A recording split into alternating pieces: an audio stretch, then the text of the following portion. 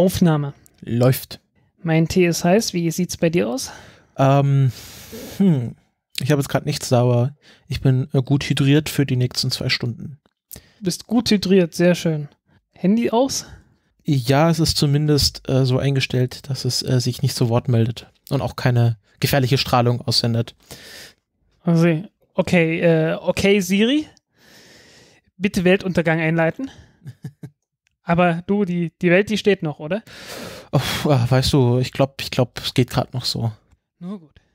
It's the end of the world as we know it. It's the end of the world as we know it. 12, 11, 10, 9. Ignition sequence starts. 6, 5, 4, 3, 2, 1, 0. All engine running.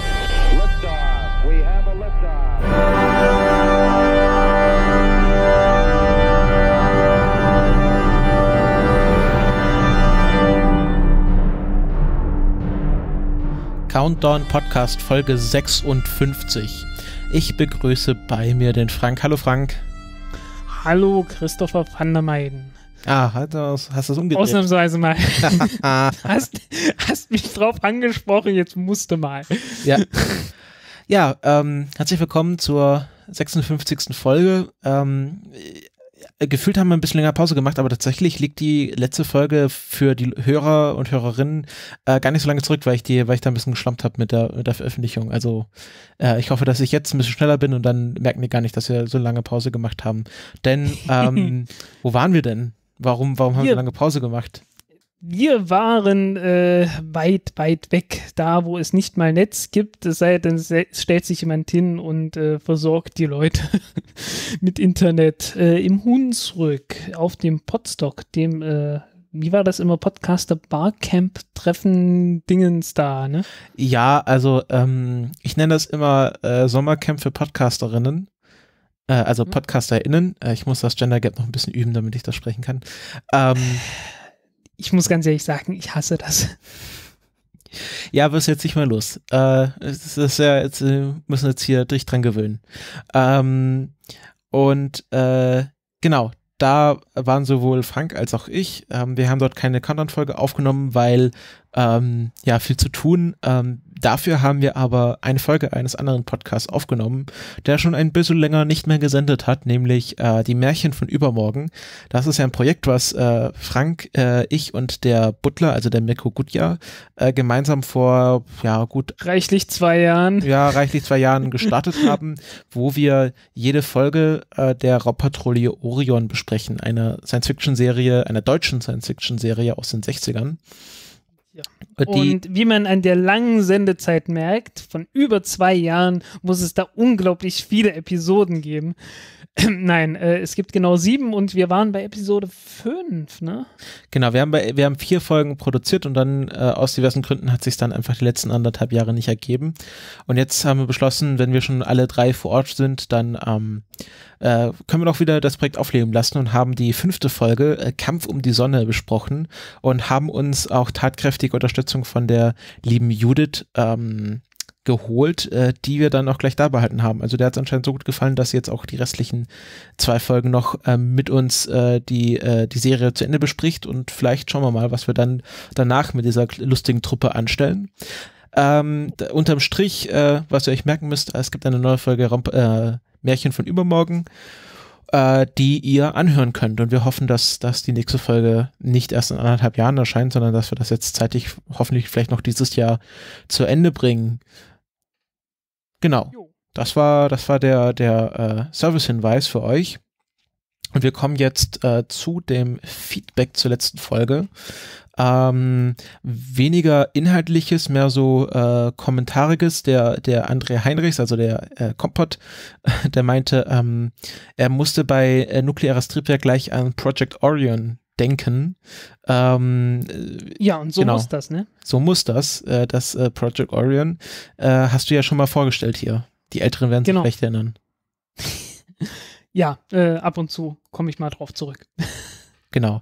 Äh, willst du mal ganz kurz erklären, was das war, so in drei Sätzen? Äh, in drei Sätzen. Äh, ein einseitiges nukleares Abrüstungsprogramm wie es mal beschrieben wurde. Äh, Antrieb eines Raumschiffs durch Atombomben. Genau. Und wer das mehr wissen will, der hört sich einfach äh, Franks Grundlagen, äh, Ausführungen zu nuklearer Raumfahrt an, die er über zwei Folgen erstreckt äh, euch dargelegt habt. Ich werde das nochmal verlinken, ist mit Kapitelmarken. Alles so, wie es sich gehört. Genau. Dann haben wir noch einen äh, Kommentar vom lieben 19 Grad bekommen, ähm, der ja ein äh, Patreon-Unterstützer von uns ist. Ähm, und wir haben uns ja bei der letzten Patreon-Unterstützerdanksvorlesung gefragt, ob das 19 Grad Fahrenheit oder Celsius sind. Ähm, und er meinte, das sind Grad Celsius und bei solchen Fragen merkt man, dass man den richtigen Podcast hört. äh, Es hätten ja auch 19 Grad nördlicher Breite sein können. genau, oder 19 Wäre Grad er denn Kelvin. eigentlich? 19 Grad Wäre er nördlicher denn Breite. dann, ich habe habe hier nur mein, mein Mini-Globus. Äh, dann wäre er irgendwo auf Kuba. Hey. Aber es sind 19 Grad Celsius. Ähm, ich frage mich jetzt natürlich, welche, welche Bedeutung äh, für äh, 19 Grad Username 19 Grad Celsius haben. Ähm, ob, das, ob das die Temperatur ist, bei dem, keine Ahnung, was passiert denn bei 19 Grad? Zieht man keine 19 Jacke Grad. an? Ja, so ungefähr. Äh, die, die einzige Nicht-Mecker-Temperatur äh, der Deutschen liegt ja irgendwo bei, ich glaube, 25,8 Grad bis 26,3. Darunter ist es noch nicht richtiges und darüber ist es zu heiß. Ja, obwohl ich, obwohl ich tatsächlich so 19, 20 Grad sogar bevorzugen würde, so ganz persönlich, aber ich bin ja auch kein, kein genormter Deutsch, Durchschnittsdeutscher. Genau. Ja, und Jo, Dann hatte noch auf äh, Twitter, hatte ich gestern eine sehr nette Diskussion mit dem äh, Ingo Ed Oschny, das ist auch ein treuer Hörer von uns. Ähm, der, also es wurde ja äh, gestern, heute ist ja Tag der Aufnahme, ist der 29. August 2017 und gestern wurde ja die, ähm, die letzt, letzt gelandete äh, Falcon 9 Booster, ähm, der, der letzt gelandete Falcon 9 Booster in den Hafen gezogen. Und ähm, er fragte sich, ob es Bilder von der Bergung gibt, also von ähm, wie das zerlegt wird dann im Hafen. Ähm, und es gibt natürlich auf ähm, im NASA Space du Flight hast schon gesehen, ja. ja, im NASA Space Flight Forum wird das ja immer ausführlich dokumentiert, jeder Arbeitsschritt. Äh, und ich habe ihm da gleich den Thread verlinkt von, glaube ich, dem vorletzten, ähm, wo das so schief gelandet ist. Da war ja der Crush Core bis zum Maximum ausgereizt. Ähm, und das werde ich auch nochmal in die Shownotes packen. Das ist sehr interessant. Also diese Bilder sind immer so hochinteressant. Da wird halt auch ganz genau analysiert, okay, da ist es jetzt ein bisschen brauner als sonst. Äh, was hat das für Aussagen? Also die machen da tatsächlich irgendwelche ähm, A- Astronomie an, an, der, an, der, an der Rakete und lesen aus, aus, wie aus den Teeblättern aus den Verfärbungen der Rakete, was mit der passiert ist. Ähm, das ist sehr Ja. lustig, damit zu lesen. Ja, ist es. Ähm, ja, die Welt steht noch. Äh, Äh, ganz kurz, bevor man- wir, bevor wir, so. äh, bevor wir es vergessen, ähm, wir müssen noch die unsere äh, Patreon-Unterstützer ähm, vorlesen. Stimmt. Das habe ich jetzt nicht in Ähm, den Ablauf geschrieben, deswegen. Ähm, Du hast, äh, ja, du hast das nicht in den Ablauf geschrieben, du hast auch nicht die Namen in den Ablauf geschrieben. Äh, ich- weil ich- im Prinzip wäre ich ja dran. ja, jetzt mache ich es äh, mach ich's eben ganz unkompliziert. Oh, das ist, oh, das ist schon mittlerweile eine sehr lange Liste. Also, wir haben einmal äh, den Eike, Sebastian, Sebi, Nietzscheboer, Steffen, Martin, Torben, 19 Grad, hallo, äh, Raw Iro, Rominger, Telegnom, Niklas, Daniel, Karsten, Bebone oder Bebe- Bebone oder B-B-O-N-E, wie man es auch sprechen mag, Michael, Christine, M, Markus, Manuel, Hori, äh, Thomas, Ronald, Jochen, Ingo und der Johannes. Ähm, ja, wie man merkt, immer noch sehr viele männliche Namen. Ähm, ich, äh, ich hoffe ja, dass, dass unsere Hörerschaft äh, auch einen guten Frauenanteil hat. Äh, ähm, und vielleicht, vielleicht gibt es da auch, äh, vielleicht können wir auch den Frauenanteil bei unseren UnterstützerInnen äh, und PatronInnen äh, hochschieben. Genau, also vielen Dank für eure Unterstützung. Ähm, wir äh, freuen uns über jeden, jeden Dollar, der bei uns ankommt. Ach so, bevor ich es vergesse, äh, ich habe noch was über PayPal bekommen. Vom Lutz, äh, von der Ariane-Dokumentation. Ah, okay. Genau, der hat uns noch ein bisschen Geld geschickt. Das war genau an diesem Potsdamer-Wochenende, wo ich das erhalten habe. Ähm, ah, okay. Ähm, habe ich, vielleicht habe ich es übersehen. Ähm, aber äh, auch so, das ist ja egal. Wir treffen uns ja hier auch so ab und zu mal. Genau, da kann ich dich auf ein äh, Bier einladen. Ja, Ach so, ja, äh, du- nicht- du und Ingo. nee, wir, Ja, er, er, äh, du und mich, Lutz. er hat mich schon auf deutlich mehr als nur, als nur Bier eingeladen, von daher. da ist das einfach nur nicht nötig. Ja, nee, aber, aber Apropos, apropos äh, wenn wir schon dabei sind, äh, wenn Zuhörer in Berlin unterwegs sind und äh, Zuhörerinnen. und Zuhörerinnen, äh, dann könnt ihr euch sehr gerne einfach mal so bei mir melden. Da kann man sich sicherlich irgendwo mal treffen. Genau, und wenn Leute in Tübingen unterwegs sind, natürlich gerne auch. Ähm, aber ich vermute mal, das wird weniger der Fall sein. Ja. Ja, Berlin hat ein paar äh, kleine Vorteile, was das angeht. Äh, um mal kurz abzuschweifen, äh, du bist ja jetzt auch Puerto Partida äh, äh, Hörer geworden. Ja, ich hab's gestern geschafft, die letzte Folge anzuhören. Äh, du hast ja hast ja ganz schön Sprint äh, durch, hingelegt. Ja, irgendwie, wenn ich schon mal damit angefangen habe. Ja, jetzt, jetzt Aber ich muss es auch noch mal, ich muss mir das auch noch mal irgendwann noch mal in Ruhe durchhören, weil äh, das war jetzt alles in unterschiedlichsten Situationen und nicht immer sonderlich konzentriert. ähm, ja, auf lange Frist musst du ja irgendwann mal das Rätsel lösen und dann äh, Bürger werden. Ja, aber das letzte Rätsel ist ja von, das, das hatte Einsendeschluss irgendwie 2. August oder so. Ja, also ich sag ja langfristig, wenn es dann mal wieder losgeht, äh, dann Genau. Kannst du dich ja, kannst du dich mal versuchen. Ich habe da keine Bedenken, dass du da die Rätsel nicht lösen könntest. Äh, ich schon. Ja, komm. Ja. Das hat immer so, äh, das ist alles sehr Du situationsbezogen. musst einfach den ersten FCPP hören. Äh, Und bei manchen, da stehe ich halt auch bloß da wie das Schwein vorm Uhrwerk. wie es halt so ist, ne? Geht's den Menschen wie den Leuten. ja. Ich glaube, es haben schon, haben schon dümmere Leute äh, oder weniger begabte Leute die Rätsel gelöst. Ah, jo. Okay, ähm, So. damit beenden wir diese Abschweifung und äh, auch äh, die Genau, abschweifen Feedback tun wir und nachher noch genug. Äh, Lesung.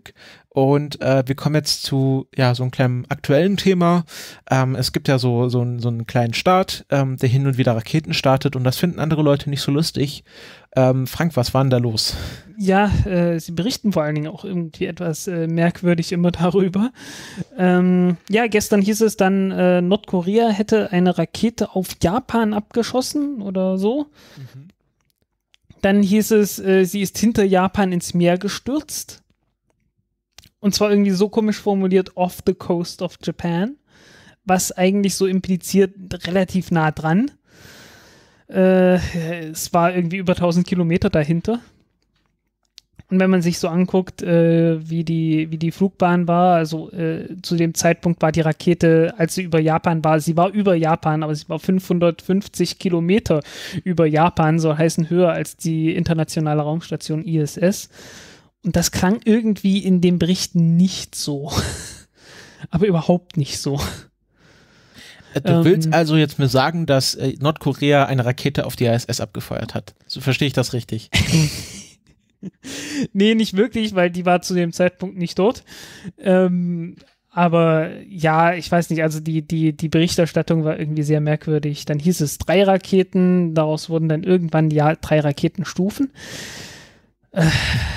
naja, wie man es nimmt. ja, ja. ähm, ja, wieder mal viel Grund gewesen, mich darüber aufzuregen. Dann habe ich äh, nachts um drei ein kleines Modell gebastelt. äh, mit der Flugbahn der Rakete. Die haben wir auch fleißig vertwittert und dann kann sich jeder angucken, wie das Ding geflogen ist. Ja, werde ich auch nochmal in den Shownotes vertwittern. Ähm, äh, in den Shownotes vertwittern, Schwachsinn, in den Shownotes verlinken. Äh, Ja. ja. ich finde das, Ähm, war das Übrigens, da, ja, äh, die, die Flughöhe eines typischen Flugzeuges äh, in dem gleichen Modell wäre ungefähr 60 Mikrometer. Okay, und das waren jetzt irgendwie so zwei Zentimeter oder wie war das?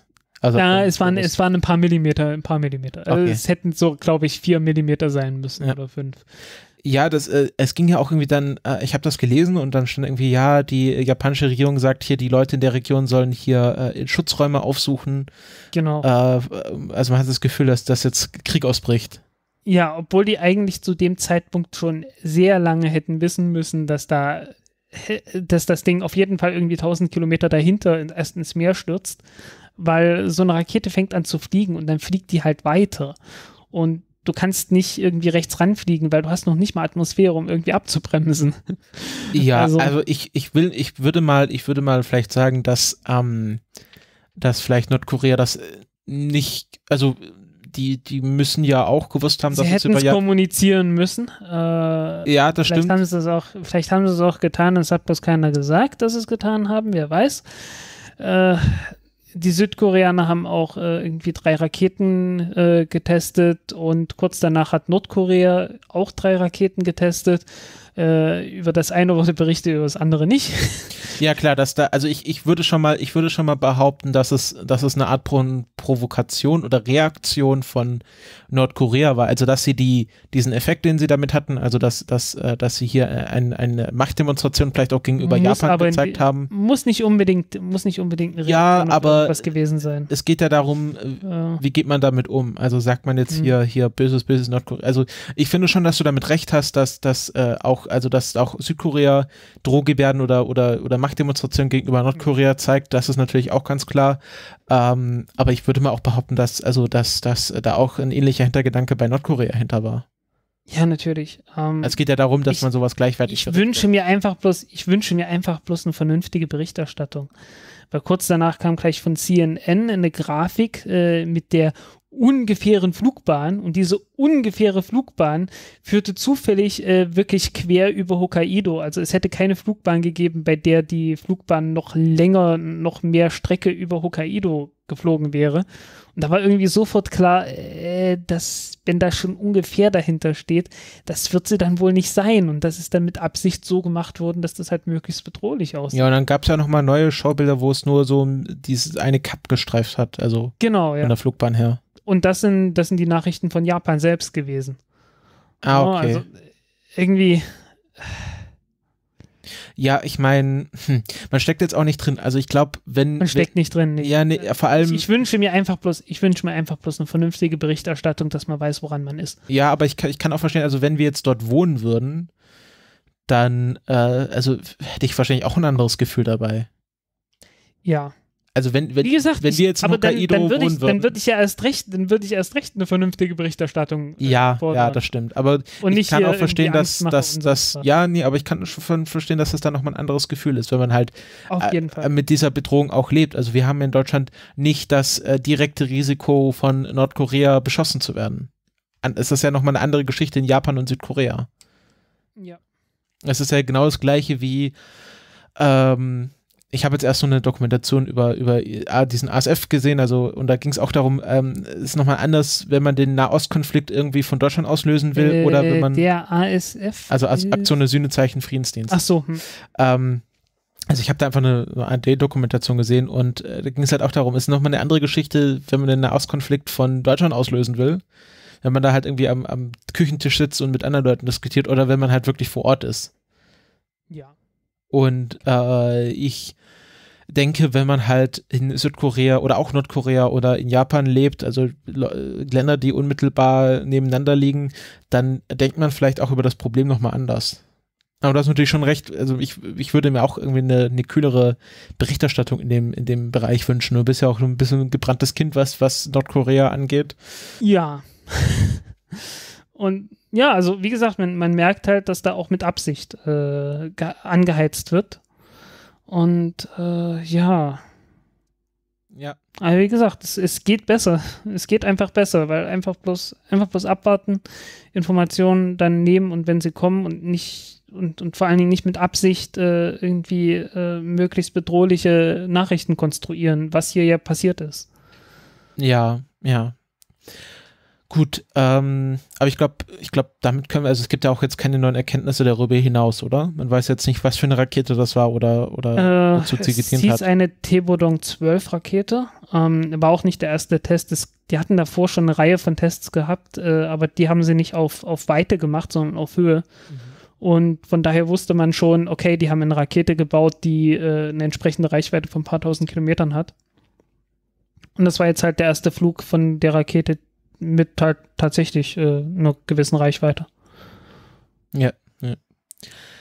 Äh, aber ich glaube, wir können jetzt auch das Thema dabei abschließen. Äh, Genau. Ging ja entfernt um Raumfahrt, von dem her haben wir gedacht, nehmen wir das kurz rein. Ja, also im Prinzip hätte man auch sagen können, nicht äh, die Rakete ist über, über Japan geflogen, sondern man hätte auch sagen können, ja, sie ist äh, über Nordkorea in den Weltraum gestartet worden und ist hinter Japan wieder in die Atmosphäre eingetreten. Ja, genau. Also man wird ja auch nicht sagen, die ISS tritt in den japanischen Luftraum ein. Genau. Ähm, gut, dann Ist natürlich jetzt, ist natürlich, äh, um das klarzustellen, also die, äh, dieser Ausdruck wäre natürlich genauso ähm, grenzwertig gewesen, ne? Jetzt zu sagen, ja, sie ist da in den Weltraum geflogen und da wieder runtergekommen, ist genauso grenzwertig wie zu sagen, äh, es fliegt drüber. Aber naja. Ne? Ja. Gut, ähm, dann kommen wir jetzt zu unseren Hauptthemen. Äh, und da steht uns eine neue Soyuz. Ähm, ist das, ich, ich, dummerweise, ist das jetzt die Rakete oder ist es das Raumschiff, von, von was wir reden? Das, äh, ich glaube, dass die letzte Version vom Soyuz Raumschiff ist äh, draußen. Das ist doch die, ist jetzt M die, die aktuelle nee, MS. MS. Ah, genau. Aber, äh, ja, genau, MS. Stimmt, das da hatten wir auch schon drüber geredet. Aber wir reden jetzt über eine neue Soyuz-Rakete. Ja. Das hat damit zu tun, dass halt, wie gesagt, äh, Soyuz, äh, das Raumschiff, geht jetzt in die letzte Iteration. Danach äh, kommt Federatia, das neue Raumschiff der Russen. also von, was heißt denn Soyuz-Einheit oder sowas? Ja, Also zu Zur Einheit, von der. Einheit zur Föderation. Ja. Ja, okay, es ist ja auch nicht mehr Sowjet, äh, äh, also Sowjetunion, sondern ist ja jetzt russische Föderation. Also, genau so ungefähr. wenn man nach dem Gedanken geht, what's Zeit? Ja, äh, ich meine, gut, so politisch ist das natürlich auch, also äh, gerade so im Ukraine-Konflikt haben sich ja viele noch als Sowjetbürger äh, identifiziert dort, ne? Ja, ja. Auch, auch wenn ich Ja. glaube, dass äh, die Ukraine so, ich meine, da hat der Stalin einfach mal die halbe Ukraine verhungern lassen, absichtlich. Ja. Äh, Ja, die Engländer haben ja Irla Irland auch irgendwie verhungern. ja, die Engländer haben, haben auch äh, im Zweiten Weltkrieg auch äh, die Inder verhungern lassen. Das auch. Ah ja. Äh, nee, stopp. Schluss. ja, ja, ja. Wir wollten nachher noch, ich will nachher noch mit Geschichte abschweifen, Okay, jetzt. ähm, so, äh, ja, auf jeden Fall, das Ding wird schwerer. Äh, erheblich schwerer, mehr als doppelt so Ich schwer. muss erstmal sagen, es geht um die Soyuz 5. Ja, also sollte ursprünglich mit der Angara 5 gestartet werden, Federatia. Aber äh, der, die Personentransporter-Version der Angara 5, die Angara 5P, wurde irgendwie eingestellt. Äh, also die Entwicklung wurde eingestellt. Ich weiß es nicht genau wieso. Hat möglicherweise was damit zu tun, dass der ähm, das Vostochny, also der, der östliche Raumflughafen, äh, doch sehr hinterm Plan zurückgefallen ist, nach diversen Geldschwierigkeiten, äh, Streiks, Korruption und äh, allem drum und dran. Und äh, von daher natürlich auch die, auch die Raketen dann etwas später starten und du brauchst halt, äh, ja, brauchst halt entsprechend eine zuverlässige Rakete, die das Ganze startet. Ne? Und wenn du keinen Ort hast, von dem aus du die starten kannst, dann hast du, dann fehlt dir die, die Erfahrung damit, jada jada, ne? Ja. Also hat man irgendwie entschlossen, ist, äh, dass man äh, eine andere Rakete benutzt und äh, die nennt man jetzt einfach Soyuz 5. Punkt. Erweckt Vertrauen oder so, ich habe keine Ahnung. ähm, und äh, die hat mit der Soyuz-Rakete relativ wenig zu tun. Äh, relativ wenig heißt, äh, ein Bauteil ist noch das gleiche geblieben, nämlich das Triebwerk der Oberstufe. Das wird wieder das RD 0124 sein, äh, das derzeit auch schon mit der Soyuz fliegt. Aber es wird nicht nur eins sein, sondern gleich zwei davon. Uiuiuiui. Ja, brauchst mehr Schub. Mhm. Was willst du machen, ne? Ähm, okay, das ist die Oberstufe. Ähm, darauf kommt dann das, äh, kommt dann das Raumschiff und äh, alles picobello. Ähm, es ist jetzt eine etwas merkwürdige Oberstufe, weil dieses RD 0124 Triebwerk ähm, hat alleine schon äh, vier Brennkammern und vier äh, Düsen. Bei zwei Triebwerken oder wie? Wenn jetzt, nein, bei einem. Achso. Bei einem. Wenn du jetzt Hä? zwei davon verbaust, hast du acht. Äh, Vier Düsen? Ich, also, okay, ja, reden wir weiter. Ah, du, du hast halt, ähm, so ein Raketentriebwerk besteht ja nicht nur aus den Brennkammern und aus den Düsen, sondern auch aus den, aus den ganzen Pumpen und den ganzen Kram. Und hat halt bloß eine Pumpe, aber diese eine Pumpe äh, pumpt halt den Treibstoff äh, in alle vier Brennkammern rein. Hat den großen Vorteil, dass man äh, weniger Probleme hat mit irgendwie äh, Vibrationen und so weiter. Also mit die, die Verbrennung ist einfach stabiler. in einer kleinen Düse. Erstens. Und zweitens, äh, äh, in einer kleinen Düse, in einer kleinen Brennkammer. Äh, und zweitens, wenn du eine, eine kleinere Brennkammer hast, brauchst du eine kleinere Düse. Und eine kleinere Düse, äh, da geht es ja immer bloß darum, äh, du hast einen kleinen Durchmesser an der einen Seite und einen großen Durchmesser auf der anderen Seite. Mhm. Ähm, und wenn du so ein gegebenes Verhältnis hast von 1 zu irgendwas, äh, was weiß ich, 1 zu 120 oder so, ähm, dann musst du einer bestimmten Form folgen. Und umso größer die, die Düse wird, umso länger wird die dann auch. Und wenn du jetzt anstatt von einer Düse vier Düsen hast, dann kannst du die viel, viel kürzer bauen. Und hast trotzdem noch das gleiche Expansionsverhältnis und die gleiche Effizienz. Weil die sich, weil die Düsen sich untereinander addieren, oder wie? Ja, weil du halt die nebeneinander baust. Ah, Und Also nicht du einfach das also eine riesengroße. vier kleine Düsen haben die gleiche Wirkung wie eine große, oder das ist Genau, also die, du hast halt vier, vier Düsen an vier kleinen Brennkammern, die jeweils ein Viertel von dem Schub leisten, den eine große Brennkammer hätte. ja. Aber die Ja, große stimmt. Brennkammer bräuchte halt eine große Düse, Ja. wie man ja so beim, beim Merlin-Triebwerk oder sowas sieht. Ne? Dieses Merlin-Vakuum-Triebwerk hat ja eine riesengroße Düse hinten dran. Mhm. Ja? Und das umgehen die damit, dass sie halt einfach acht kleine Brennkammern haben und acht kleine Düsen, die trotzdem äh, ein sehr ordentliches Expansionsverhältnis haben und damit ziemlich effizient sind. Ähm, und äh, dadurch hast du eine sehr kurze Oberstufe Ja. und kannst die, kannst die Rakete halt äh, insgesamt etwas kürzer bauen. So, ähm, das ist der obere Teil. Was ist drunter? Naja, drunter äh, ist etwas, das äh, sehr stark an die Zenit-Rakete erinnern wird. Okay. Die Zenit-Rakete ist äh, eine Rakete, die wurde mal eingeführt in den 80er Jahren, ich glaube 86 oder 85 oder so, äh, von der Sowjetunion. Ähm, und besteht im Wesentlichen aus dem Booster, der dann später der Booster von der, äh, von der Energia-Rakete geworden ist, mit der der Buran gestartet ist. Ne? Und die hat ja so, so vier Wasserstofftriebwerke in der Mitte in der Hauptstufe und ringsum dann noch vier äh, Booster-Raketen, Ja. so ähnlich wie Space Shuttle. Und diese Booster-Raketen, die hatte man davor schon als normale Rakete getestet. Ah, okay. Das ist die Zenit-Rakete. ah, Ähm, also die Zenit-Rakete war dann sowas, was, was die Space Shuttle Booster, also wenn, wenn, wenn man Genau, sich vorstellt, genau. die Space Shuttle Booster wären richtige Raketen. Ah, okay. Genau, was ja, was ja auch mal geplant war, diese Ares-1-Rakete, sollte ja genau das sein. Ah, Ne? Da sollte unten so ein Booster sein, oben noch eine Oberstufe drauf, äh, da drauf noch ein Raumschiff und äh, alles doll. Äh, hat man nicht gemacht, weil zu dumm. Egal. Äh, Wurde der dann gleich von Obama eingestellt, oder? Dieses Ares-Programm. ja, das war das, äh, wie hieß das Ding? Constellation, ne? Ja, das war ja dieses Bush-Ding, das nach Challenger, Columbia, Genau, ja. Äh, Columbia, glaube ich. Columbia. Ja, Columbia. genau. Jo. Ähm, jedenfalls äh, so ein Booster, okay, das Triebwerk ist ein kleines bisschen anders, kann in zwei Richtungen geschwenkt werden. Bei dem Booster konnte man es bloß in eine Richtung schwenken, aber äh, ja, egal. Letzten Endes ungefähr das gleiche Triebwerk. Und das Triebwerk, um das es geht, ist das RD171 Triebwerk. Das stärkste Ding, wo gibt. Mhm. Äh, abgesehen vom Space Shuttle Booster.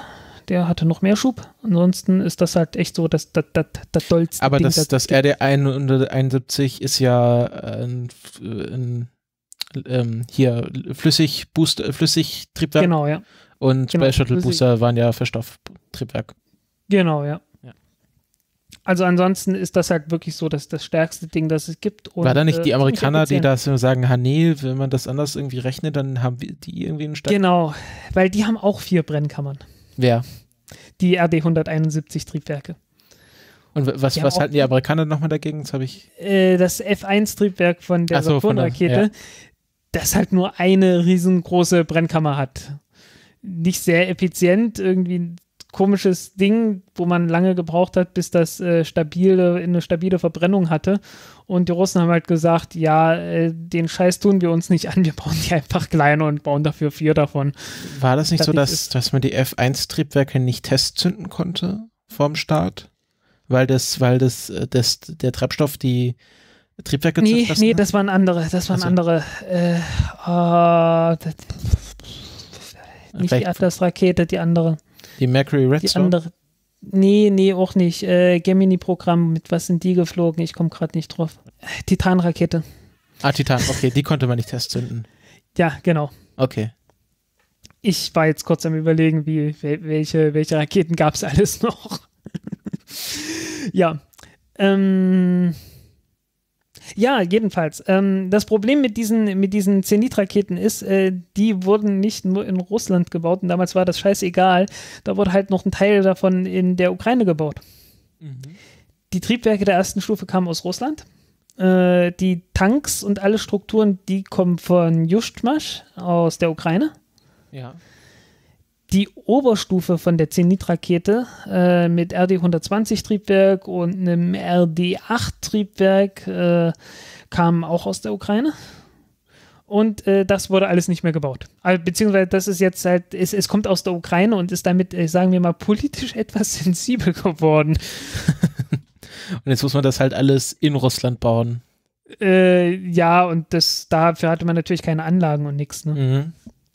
Äh, witzigerweise gibt es jetzt wohl doch irgendwo gerüchteweise einen Deal, dass äh, die Ukraine doch wieder zwölf Zenit-Raketen äh, an Russland verkauft, weil Justschmasch natürlich jetzt ein Problem hat. Äh, irgendwie alle Abnehmer sind weg.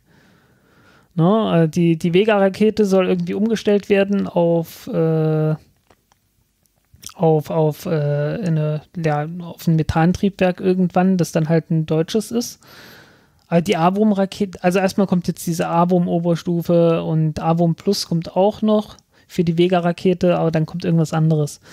Und äh, aus der Zyklon-Rakete, ob daraus noch was wird, das muss man abwarten. Also die, es gibt eine äh, durchaus ganz gute äh, ukrainische Raumfahrtindustrie, äh, aber die liegt halt zurzeit ziemlich brach und da kann es durchaus sein, dass da politische Kompromisse eingegangen werden. Ah, okay. Also Wirtschaft vor Politik. Genau, so ungefähr. Ähm, ja. Äh, ich bin heute etwas, irgendwie etwas thematisch durcheinander, ne? Ja, Aber zurück zum roten noch. Faden. Zurück zum roten Faden. Äh, jedenfalls wollen jetzt die Russen letzten Endes äh, das nachbauen. Die Zenit-Rakete, also die erste Stufe zumindest, weil das Haupttriebwerk haben sie ja. Äh, einen Tank wird man irgendwie konstruieren können.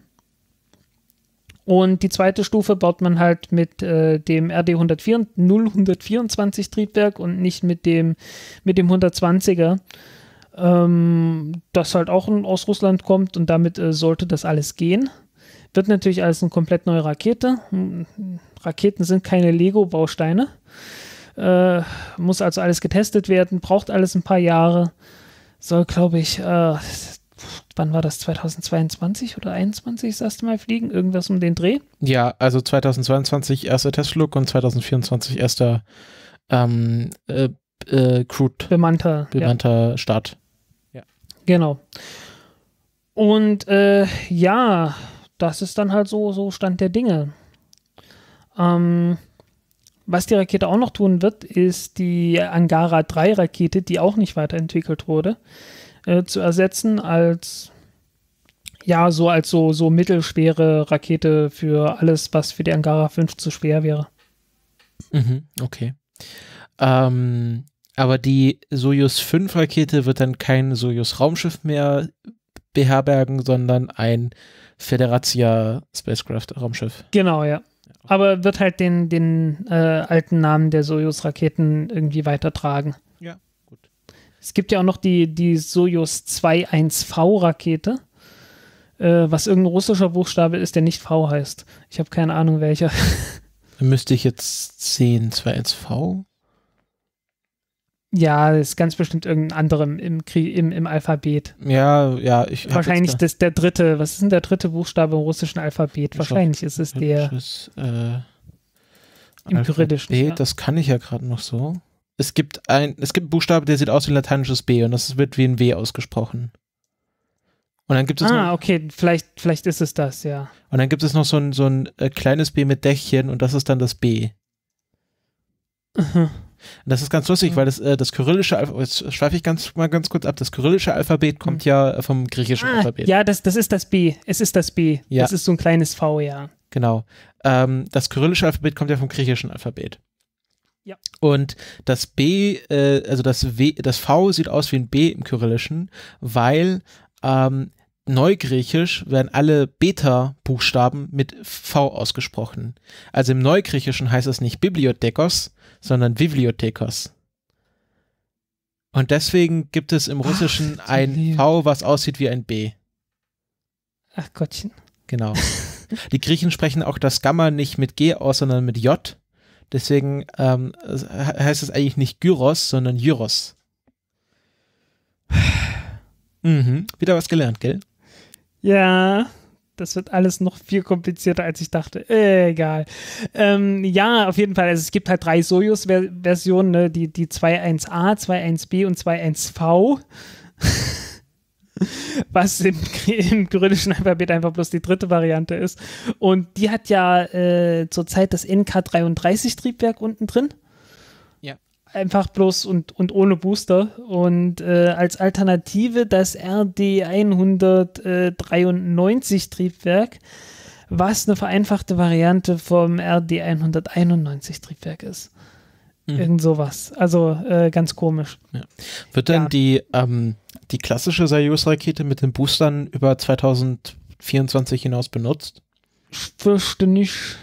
Also, na, wahrscheinlich noch ein bisschen so, ne? Irgendwie, um sicherzustellen, dass man auf jeden Fall noch, ein, äh, noch eine Alternative hat, falls es nicht klappt oder so. Oder als, falls es Probleme gibt mit der Rakete oder mit dem Raumschiff Mhm. oder so. Aber, Aber, ich glaube, ansonsten, das, das dürfte es dann langsam aber sicher gewesen sein. also dann verlieren Dame. wir diese ikonische Raketenform mit Koroljew, Koroljews äh, Kreuz und allem. Ja, äh, ich meine, es ist, also die, die, die Spatzen pfeifen es seit Jahrzehnten von den Dächern. Ja, ich glaube, wenn die, wenn die Sowjetunion nicht gescheitert wäre, hätten wir wahrscheinlich schon viel früher verloren. Ja, ja, also es ist halt, äh, die, die ganze Form von dem Ding stammt ja noch aus einer Zeit, als man äh, gedacht hat, man müsste das so machen, um irgendwie die, den Luftwiderstand in den Griff zu bekommen. Und dann hat sich sehr bald danach herausgestellt, dass das gar nicht nötig ist. Ähm, Ja, aber es ist halt schon, ist irgendwie schon so ein es ist sehr, sehr schade. Markenzeichen. Also so ein bisschen wie Space Shuttle halt aussah, ist so einzigartig und dann gab es halt Ja. die Soyuz-Rakete mit ihren, mit diesen äh, geschwungenen Boostern. Ja, äh, was ich, ich liebe dieses Ding auch, aber es macht halt von, von der Technik Ja, her überhaupt keinen Sinn. Ja, es ist ja, es ist ja, aber die, die Raumschiffe, diese Raumschiffe, die könnten wir ja auch noch theoretisch analog fliegen, oder? Da ist ja nur die digitale Funktionsweise drüber gebaut worden. Ah, weiß ich nicht, weiß ich nicht. Ge äh, will ich mich sicherheitshalber nicht dazu äußern, weil habe ich mich nicht äh, genauer Ja, damit. also jedenfalls, es tut sich was in der russischen Raumfahrt. Und äh, gut, wir können auch ohne, ohne Space Shuttle leben, können wir auch ohne, ohne Soyuz Booster-Rakete leben. Ja. Ähm, die genaue Form, wie das dann alles aussieht, das soll, glaube ich, im November vorgestellt werden. Mhm, okay. Ähm, was, worauf ich noch zu sprechen kommen wollte, ist, äh, die ist natürlich mehr oder weniger kompatibel zur Zenit-Rakete. Und die Zenit-Rakete wurde ja auch schon bei Baikonur gestartet und die dürfte dann, und die Soyuz 5 dürfte dann halt von den gleichen Startrampen starten. Aber auch von einer anderen Startrampe, äh, nämlich von der von Sea Launch. Und, Sea Launch is back. Dum, dum, ja, dum. seit äh, den 90er Jahren geistert ja diese Firma ab und zu mal herum. Äh, sie geistert in den Weltmeeren herum, weil Sea Launch äh, ist ein, ein komisches äh, Konglomerat gewesen, das nach dem Zerfall der Sowjetunion nur entstehen konnte. Ähm, und zwar aus einem russischen, ukrainischen, norwegischen und US-amerikanischen äh, Anteil jeweils. Äh, was haben die alles gemacht? Also die, die Amerikaner haben das Geld geliefert. äh, da ist Boeing beteiligt gewesen. Ähm, die Norweger haben eine, Ölpl eine Ölbohrplattform geliefert, ähm, die mit einer Startrampe für eine Zenit-Rakete ausgestattet wurde. Die äh, Ukrainer und die Russen haben die Zenit-Raketen geliefert und äh, damit wurden einige Raketen gestartet. Die haben über 30 Starts gemacht, äh, davon drei Fehlstarts, glaube ich. Und diese drei Fehlstarts waren teilweise sehr spektakulär, mindestens einer davon, äh, was das schlechteste Werbevideo aller Zeiten ergeben hat. Ja, ich, ich kenne das Video, äh, wo dann die Rakete explodiert und dann wird sofort natürlich das Logo der Firma eingeblendet. Ja, weil, weil halt irgendwer gesagt hat, oh verdammt, das Ding ist explodiert, brecht sofort den Livestream ab und keiner hat dran gedacht, dass in dem Moment sofort ganz riesengroß dieses Logo von der Firma eingeblendet wird. Aber ich glaube, das war nicht der einzige Grund, warum die gescheitert ist. Äh, naja, doch, äh, im Prinzip schon, weil, weil äh, das war, glaube ich, der erste oder zweite Fehlstart erst. Ja, nee, aber hat halt erstmal nicht sehr nachhaltig, sehr nachhaltig die, die Plattform zerstört. Ah, okay. Und das war halt, äh, das war halt erstmal äh, nicht, nicht, zer- nicht völlig zerstört, aber halt so stark beschädigt, dass sie halt äh, erstmal, äh, ja, ne, sehr aufwendig repariert werden musste, sehr lange außer Gefecht gewesen. Dann halt die üblichen Unsicherheiten mit, äh, ja, wollen wir die Rakete jetzt noch weiter benutzen, jada, jada. Was war jetzt die Ursache davon? Was muss man da, was muss man ändern, damit es nicht nochmal passiert und so weiter. Und äh, ja, das war so, das war schon so der, der Auslöser für den ersten Bankrott. mhm. Den ersten Bankrott. Gab da noch mehr oder wie? Es gab noch mehr, ja, ja. Irgendwann zwischendurch waren sie jetzt in, äh, oh, irgendwie, da war eine Schweizer Gesellschaft beteiligt, dann war eine russische, dann wurden sie jetzt vor kurzem an eine, äh, an eine Fluggesellschaft, eine russische Fluggesellschaft, glaube ich, verkauft oder irgend sowas. Also äh, sehr merkwürdige Geschichte alles. als hat jetzt äh, hat sehr lange gebraucht. Äh, es gab auch ein, ein rechtliches äh, Tauziehen mit Boeing, wer wie viel kost bezahlen muss für das Kommandoschiff, das daneben noch geschwommen ist. Und also äh, die Rakete wurde halt von der Insel gestartet, aber irgendwie alle Überwachung und so weiter, Kommunikation wurde von Sea Commander oder so hieß dieses Schiff äh, übernommen und äh, das hat natürlich auch jemand gebaut und ja, ja. Wann, hat natürlich auch alles Geld gekostet, das muss dann irgendwie alles noch vor Gericht und hat sich jahrelang hingezogen und ja. Wie das halt so ist, ne? Jedenfalls, äh, die Soyuz 5 Rakete, äh, ja, benutzt das gleiche Triebwerk. Bisschen verbesserte, vereinfachte, billigere, äh, eventuell etwas schubstärkere Variante davon, aber so im Prinzip das gleiche. Und wird äh, auch von dort aus starten können. Und äh, ja. Ja, wie gesagt, äh, in der Zwischenzeit äh, soll es Gerüchten zufolge äh, wieder Zenit-Raketen geben, die dann halt von der Ukraine geliefert werden. Aber ist halt dann auch so alles auf Zeit, ne? Ja, und äh, von, von der soll auch, also soll dann auch Soyuz 5 gestartet werden, aber bema bemannt oder nicht bemannt? Äh, unbemannt. Also es wird eine bemannte Variante geben, wo man dann halt ein bisschen mehr auf Sicherheit und so weiter achtet.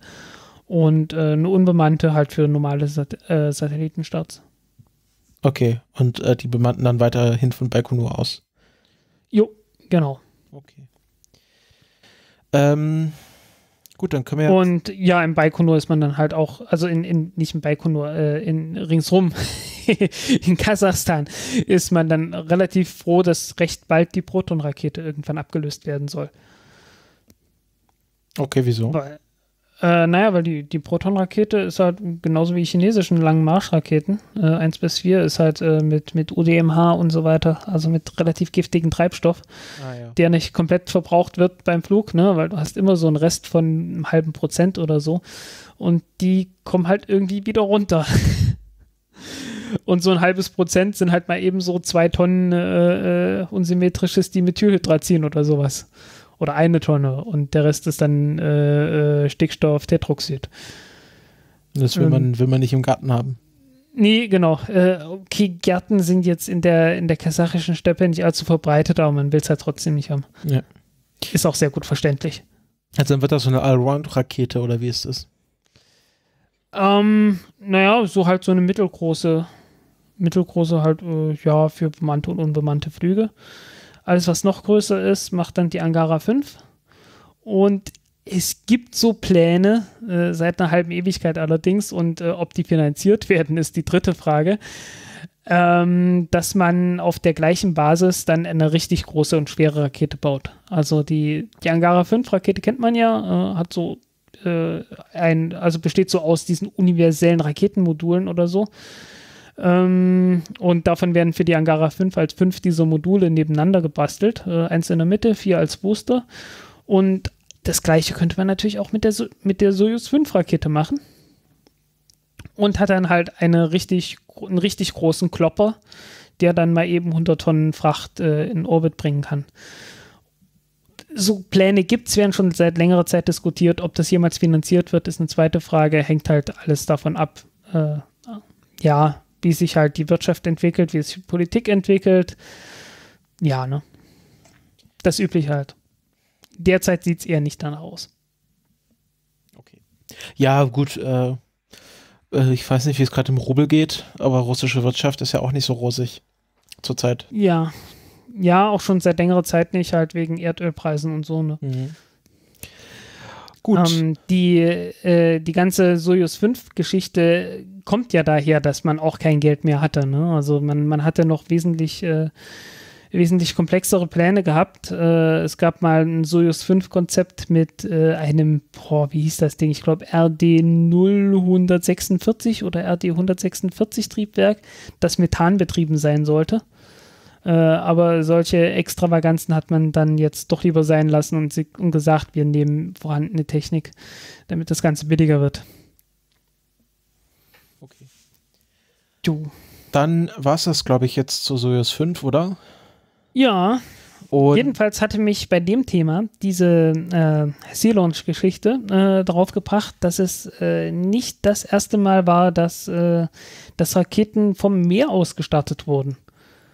Ja, jetzt äh, musst du kurz, also wir machen jetzt so eine Art Grundlagenthema, oder wie? wie Genau, ich habe so nicht ganz verstanden, was du jetzt. das war das nächste, das war das nächste Thema. Ja, Äh, du, du, du willst immer so, äh, so, so elegant überleiten, aber wir müssen ja irgendwie den Leuten erklären, was jetzt passiert, damit die nicht völlig verwirrt sind. Ja, wollte ich auch machen, aber ähm, wie gesagt, irgendwie, ich, ich hatte gedacht, ah, ich will noch ein anderes Thema besprechen und ich kam darauf, äh, halt wie gesagt, dadurch, dass die Sea Launch ja von, vom Meer ausgestattet werden, noch dazu von einer Ölbauplattform, kam mir in den Sinn, sowas gab es schon mal, auch davor schon, und zwar vor der afrikanischen Küste. Betrieben von äh, den Italienern. Und äh, darüber wollte ich dann mal reden. Tja, dann mach das doch. Tue ich. Ähm, ja, es gibt äh, die schöne kenianische Stadt Malindi. Malindi äh, war mir tatsächlich davor schon ein Begriff äh, aufgrund einer ganz anderen Geschichte, äh, nämlich äh, als damals Vasco da Gama äh, in portugiesischen Diensten äh, um die Welt gesegelt ist, um den Seeweg nach Indien zu finden ist er ja einmal um äh, Afrika ringsrum gesegelt und äh, dann nach Indien weiter. Und wenn man in die Geschichtsbücher äh, guckt, dann ist da halt einfach bloß so eine Seeroute und plötzlich biegt er nach rechts ab und, und kommt irgendwie nach Indien. Äh, die Stelle, wo er nach rechts abbiegt, das ist Malindi. Weil in Malindi ist er äh, an, äh, an Land gegangen, äh, nachdem er in einer anderen Stadt, ach, viel größere, viel bekanntere Stadt, war es Nairobi oder so, äh, ja, jedenfalls nachdem er da an, irgendwie abgewiesen wurde, äh, ist er in Malindi an Land gegangen, hat sich dort einen Navigator gesucht und äh, der hat ihm dann den Weg nach Indien gezeigt. Also den hat er nicht mal alleine gefunden, sondern der hat einfach sich durchgefragt, wo geht's denn hier nach Indien? Hat sich durchgefragt. Ja, der hat sich einen Lotsen gesucht, ganz einfach. Hat sie nach Indien durchgefragt. Also so ein bisschen wie, also so Vasco da Gama sucht einen Seeweg nach Indien, so äh, Napoleon erobert Ägypten, hat er nicht wenigstens einen Koch dabei? Also so Ja, diese so Geschichte, ungefähr, ja. ja. Genau. Apropos Ägypten. Oho. Apropos Ägypten, ja, äh, der allererste Bischof von Ägypten, auf den werden wir noch zu sprechen kommen, äh, war der, äh, wie hieß er, Heiliger Markus oder so. Es gibt ein Markus-Evangelium. Äh, Das ist aber ein anderer Markus. es, es, es ist jedenfalls dieser Markus, um, Ach so, ah, den Mark, ich meine. der Evangelist Markus meinst du? Ja, ja, genau der, genau der. Äh, um den geht's mir jetzt gerade. Er war der erste Bischof von, von Alexandria. Achso, das wusste ich nicht. Ja. Begründer der koptischen Christen, also der koptischen äh, Religion, äh, also christlich Sekte, ist das eine Sekte oder? Nein, nein, das ist eine nee, also- anerkannte, die sind, anerkannte die sind auch ganz gut mit den Ka. Katholiken, die, also die sind auf einem guten Fuß mit den Katholiken sogar. Ja, die haben aber ihren eigenen Papst und der sieht irgendwie ganz lustig aus, weil er völlig übertriebene, völlig übertriebenen äh, Schmuck und so weiter trägt. Naja, der katholischen Kirche könnte man jetzt äh, kein- ke- keinen Spartanismus vorwerfen. Ja, aber, aber, der, aber der Papst äh, der katholischen Kirche, der trägt immer so ein sehr einfaches Gewand. Auch erst seit kurzem. Also unter Benedikt war da noch viel mehr Bling Bling. Äh, Ja, guck dir mal die koptischen an. Koptischer Papst. ja, ich, ich muss ja, mal. Also gut, das hat so ein bisschen was von, von orthodoxer Kirche. Ja, kann durchaus sein. Äh, ich, ich, ja, ist halt etwas, ja. Wie auch immer. Ähm, dieser äh, Markus ist gleichzeitig der Schutzheilige von Venedig. Ja, Markus Dom und so. Genau, und äh, von daher ist es vielleicht verständlich, dass die, äh, dass die italienische Raumfahrtagentur ähm, ihre Stadtplattform äh, Sau Marcus oder nach dem Typen jedenfalls benannt Also hat. San, ist San gleich. Marco wahrscheinlich dann Genau, San Marco. Auf Italienisch. Genau. Ja, äh, wollte bloß mal irgendwie kurz sagen, äh, es, also es, es gibt da die wahnwitzigsten Verbindungen irgendwie Mhm. Ja, ja. in der Geschichte. Ähm, nee, aber Malindi kannte ich tatsächlich wirklich hier von, von, äh, von Vasco da Gama her. Ah, ich sehe auch, hier gibt es den äh, Vasco da Gama ähm, Pilar, also Pier wahrscheinlich. Äh, nee, nee, eine Säule, glaube ich. Ah, genau, ja, genau, Pillar von Englischen. Ja. Öffnet um 8 Uhr wieder. Ja, Ja, also Und- die San Marco-Plattform, von der aus Italiener Raketen gestartet haben, so weit sind wir gekommen. Wann waren das? das war in den 60er Jahren, als die, äh, als die Italiener halt äh, selber mal äh, Raketen und Satelliten starten wollten. Und gemacht haben sie das mit einer der unterschätztesten und äh, erfolgreichsten äh, Raketen, die die Amerikaner jemals gebaut haben. Nämlich. Die Scout-Rakete. Oh. Ja, äh, über die haben wir schon mal gesprochen. Vor langer, langer Zeit, in, in grauen Urzeiten, als wir, oh verdammt, jetzt sind wir schon wieder bei Indien, als wir über indische Raumfahrt gesprochen haben. Also ich, ich sag ja, also mit Vasco da Gama habe ich echt einen guten Anfang gemacht. ähm, ja, äh, die Inder haben auch mit, haben ja auch mal von der NASA die äh, Scout-Rakete zur Verfügung bekommen und darauf dann ihre, ähm, äh, die Baupläne dafür zumindest und darauf ihre äh, Raumfahrt begründet. Ähm, die Italiener haben das nicht ganz so aufwendig gemacht, die haben die einfach genommen und damit ihre Raketen, ihre äh, Satelliten gestartet. Und äh, warum macht man sowas auf einer ausgedienten Pl Bohrplattform?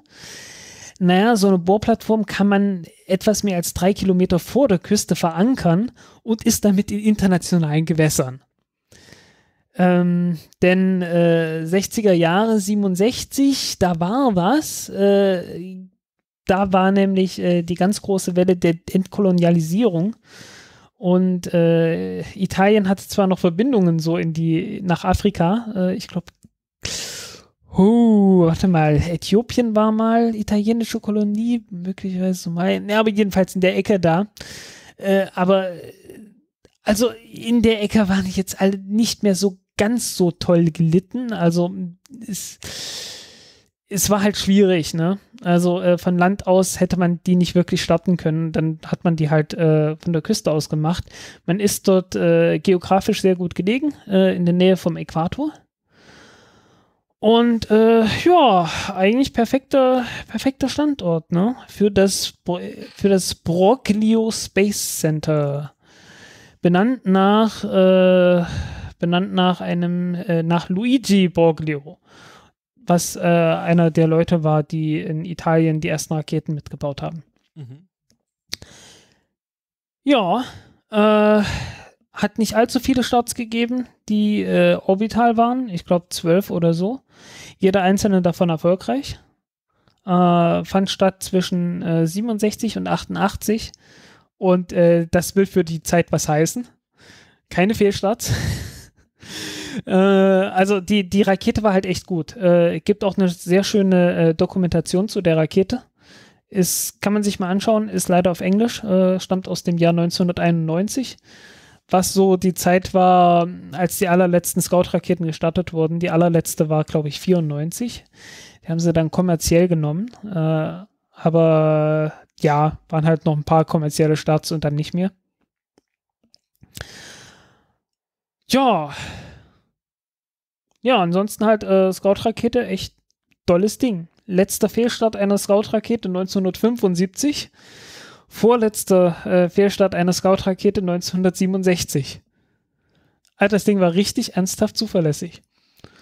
Ähm, woher kommt diese Zuverlässigkeit? Naja, die erste Stufe war eine, war eine Interkontinentalrakete. Die zweite Rakete war auch eine ballistische Rakete, irgendwie Kurzstreckenrakete und der Rest war auch alles von Militärtechnik abgeleitet. Äh, also man hatte genügend äh, Gelegenheiten, das zu testen. Ja, das äh, ist ja meistens gut. Aber ähm, warum hat das jetzt, äh, also warum haben wir diese Stadt, italienische Stadtplattform nicht mehr? Ist das einfach dann einfach nicht, nicht rentabel Wurde nicht gewesen? mehr benutzt, wurde nicht mehr benutzt und ist dann nicht mehr gewartet worden und äh, zerfällt jetzt so langsam aber sicher vor sich hin. also steht da noch. Die stehen noch, ja. Und wie viele Starts insgesamt gab es von der Plattform? Äh, 24 steht hier. Oh, das ist ja gar nicht so wenig. Also es gab noch eine, es gab noch eine Reihe von, äh, also von äh, Suborbitalen. Okay. Irgendwelche Nike, Tomahawk, Akas, Zeugs, das ich nicht kenne. Tomahawk ist doch was, was Trump auf Syrien feuert. Ja, dachte ich auch. Äh, TE 416 Tomahawk äh, von Deocore entwickelt. Nee, das ist eine andere. Die Okay. heißt nur so. Okay. Und Nike, das war doch eine französische, oder? Das ist, äh, nee, das ist die Oberstufe. Ah, okay. Nee, nee, Blödsinn, die, die erste Stufe mit einer Tomahawk-Rakete als Oberstufe. So rum ist es. Ja, gut, das würde mehr Sinn machen. Also die Nike Tomahawk heißt das dann. Nike Tomahawk, okay.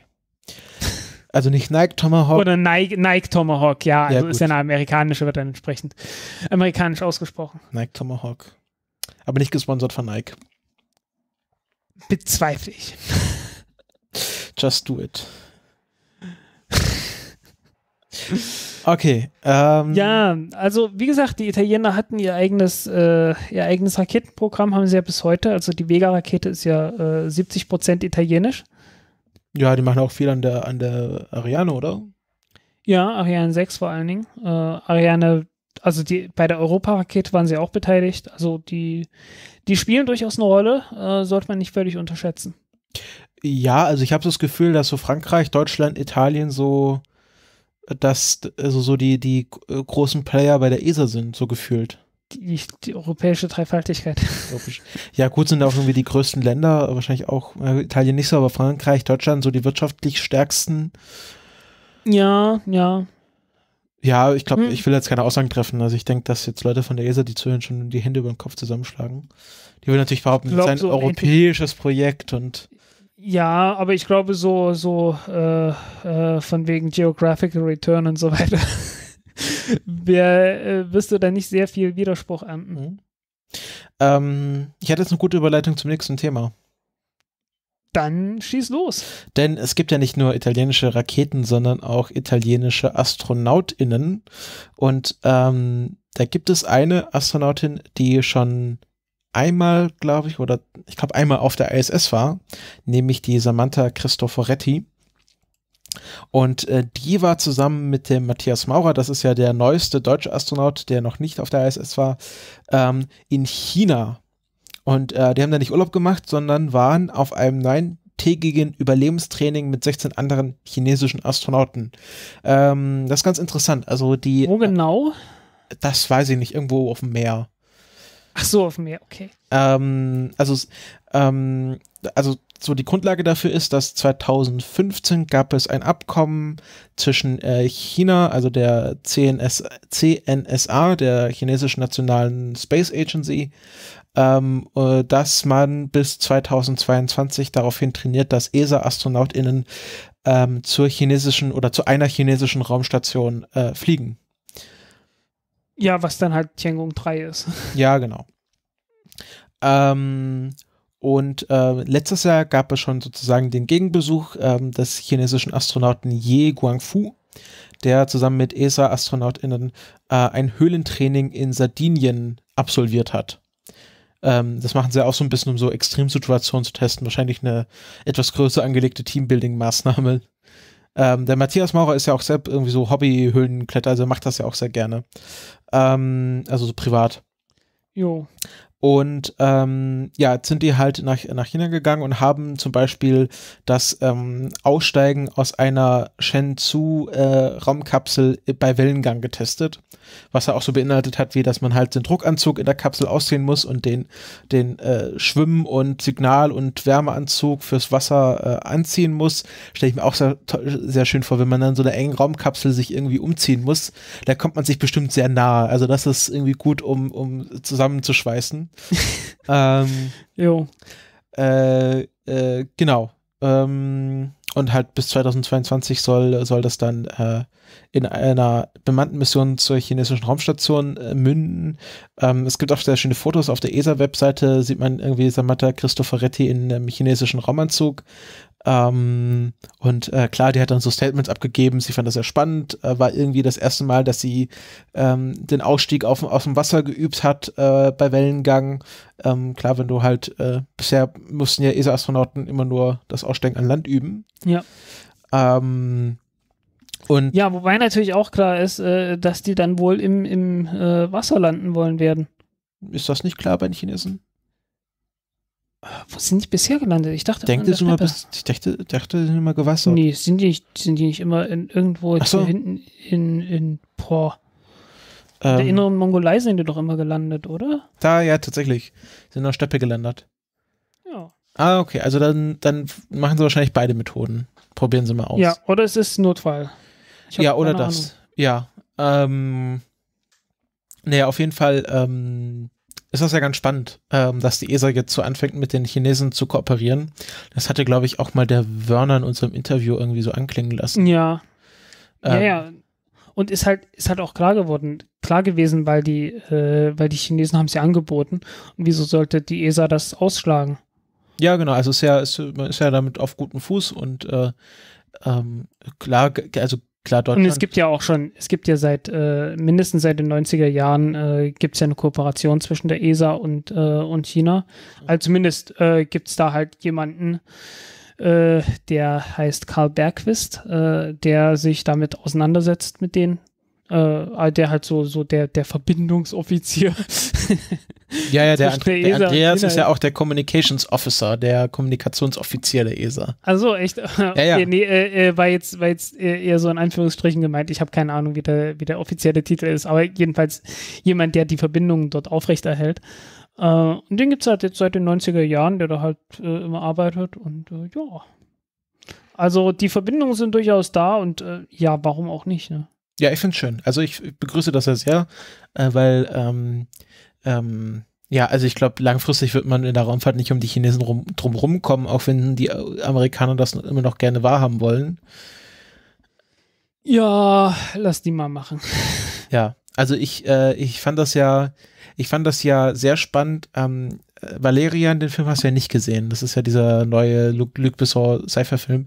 Ähm, und also das, der Prolog ist halt so, dass man halt irgendwann fängt an mit dem Apollo-Soyuz-Testprogramm, wo man halt sieht, wie sich sowjetische und äh, amerikanische Astronauten umarmen.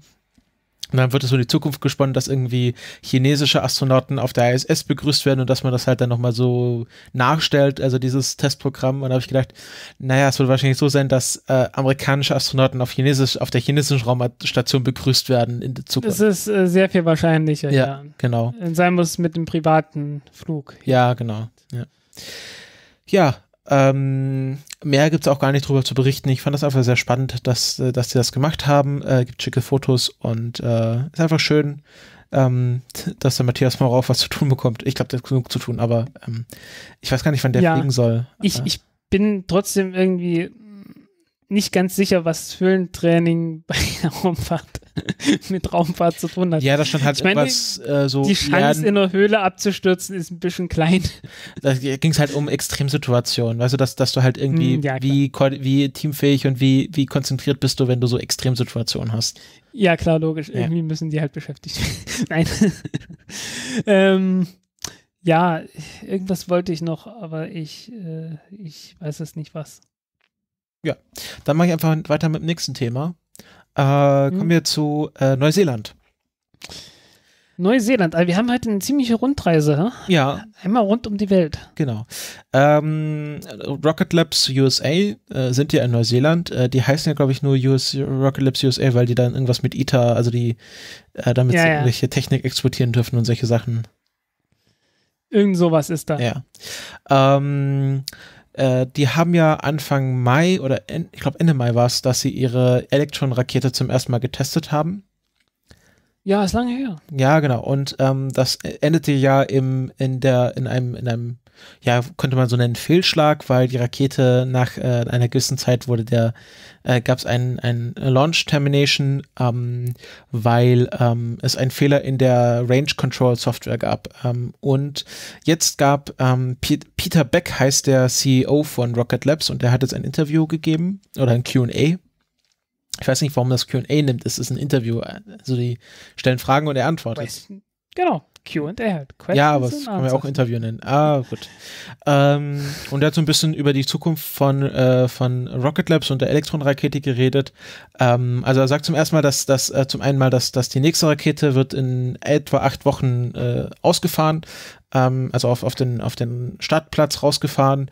Ähm, das war vom Zeitpunkt des Interviews gerechnet äh, Anfang Oktober. Und dann wird sie da noch ein paar Wochen quasi voll integriert getestet und Ende Oktober soll dann der zweite Testflug stattfinden. Ja, wird Zeit, weil die haben ja was vor dieses Jahr. Ja, da komme ich noch dazu, komme ich noch dazu. Unbedingt dieses Jahr. Na, nicht mehr. Nee, nee, nee, nee, hat sich auch wieder geändert. Okay? Ja, ich komme noch dazu. Jetzt, äh, Okay, ja, ja, ja. ähm, und wenn der zweite Testflug einwandfrei läuft, dann streichen sie sogar den dritten Testflug und fangen gleich mit kommerziellen Flügen an. Sie haben schon sechs kommerzielle Flüge verkauft und ähm, ähm, hoffen, also wenn der zweite Testflug gut geht, dass sie noch äh, Ende 2017 den ersten kommerziellen Flug, also ersten Satelliten starten können sozusagen. Äh, beim zweiten Testflug wird auch ein eigens entwickeltes, also von Rocket Labs selber entwickeltes CubeSat ähm, Deploy-System getestet. Äh, schon mit einem CubeSat, äh, sie hat noch nicht verraten, von welcher Firma. Ähm, es wurde ja spekuliert, dass Outernet das ist, also die, die Firma, die äh, ein, ein Weltraum-Internet entwickeln will, äh, so mit CubeSats. Ähm, aber er meinte, das sind sie ja garantiert nicht, aber sie verraten erst so äh, näher zum Start hin, welche CubeSats sie da jetzt aussetzen werden. Ähm, ich glaube, sie haben, sie haben Launcher für ein U, also eine Einheit, drei Einheit CubeSats und sechs Einheit CubeSats. Ähm, aber was du ja schon angedeutet hast, äh, Rocket Labs ist ja auch verpflichtet worden von Moon Express, ein Mitstreiter im Google Lunar X-Preis.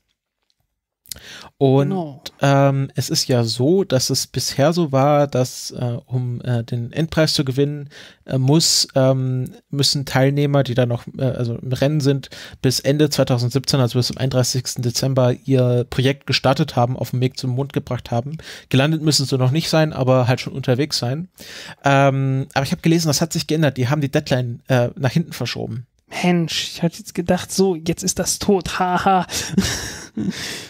Äh, nee, er, Ähm, hat Schadenfreude ist die reinste Freude und die hat man mir jetzt verwehrt. Er hat ja auch, also der, der Peter Beck hat gesagt, also äh, seine Rakete sei, be- sei bereit, äh, zu Ende des Startes, äh, Ende des Jahres zu, äh, zu starten. Ich schaue das jetzt nochmal mit dem X-Price nach. Ähm, das ist auch die, also die Nachricht ist, äh, äh, genau, äh, warte kurz. Nee, ich fand das ja, ich finde es Ah, ja trotzdem ja. insgesamt erstaunlich, wie, wie schnell sich dieses Starterfeld dann doch ausgedünnt hatte. Ne? Also ich meine, Anfang des Jahres sah es ja echt noch so aus, wie das gibt jetzt, das gibt jetzt am Ende des Jahres irgendwie ein Feuerwerk von äh, einer ganzen Reihe von Missionen, die alle nur zum Mond fliegen. Und jetzt gibt es praktisch, äh, ja, die eine. Wenn überhaupt. Ähm, genau, äh, die Deadline wurde jetzt bis zum 31. März 2018 verlängert. Äh, und es wurden Okay. zwei neue Milestone-Preise eingeführt. Es gibt einmal den Lunar Arrival Milestone Prize, ähm, äh, den man bekommt, wenn man ein Orbit, äh, genau, wenn man ein Orbit um den Mo Mond geflogen ist und äh, in einem äh, direkten Landevektor zum, zur Mondoberfläche sich befindet. Und dann bekommt man schon 1,75 Millionen Dollar. Und der zweite ist der Soft Landing Milestone Prize. Äh, ja, selbsterklärend, wenn man halt äh, auf dem Mond gelandet ist, soft, dann bekommt man drei Millionen Dollar. Und der Endpreis bedeutet ja, da muss man ja diesen, muss man ja eine gewisse Strecke auch zurückgelegt haben und irgendwie Fotos gesendet haben und solche Sachen. HD Livestream oder sowas, ne?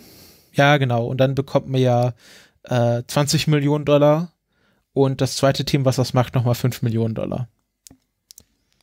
Jo. Genau. Also der Peter Beck meinte aber, die Rakete, die ist fast fertig und die kann äh, bis Ende 2017 starten, das sei kein Problem. Ähm, ich glaube, das, das QA wurde auch geführt, bevor die Deadline äh, erweitert wurde. Also Ah, das okay. ist jetzt erst ganz, ganz neu, dass Google Luna X das erweitert hat. Okay, das habe ich, hab, ist irgendwie an mir vorbeigegangen. Äh, ich habe jetzt auch erst mal ein paar Wochen irgendwie mich in der Funkstille etwas befunden. Ja, dafür bin ich Äh. ja da. Genau.